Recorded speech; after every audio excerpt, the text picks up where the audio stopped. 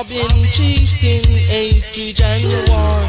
That is the culture the Babylon taught. Saying they teach us of so-called civilization.